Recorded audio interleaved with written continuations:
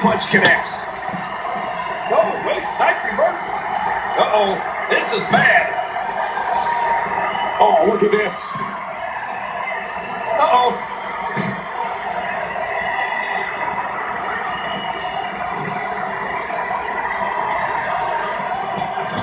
Oh, a serious knockout blow. Oh, and he lands that one right to the head.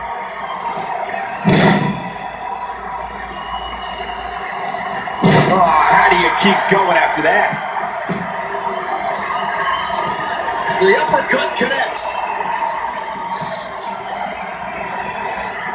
A reversal from Ambrose. Oh, that was slick. Oh, how is he still on his feet? Uh, this isn't a match. I mean, there isn't even a referee.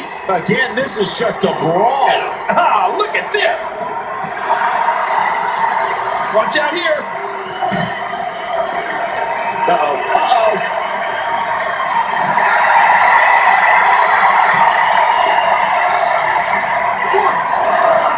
Two.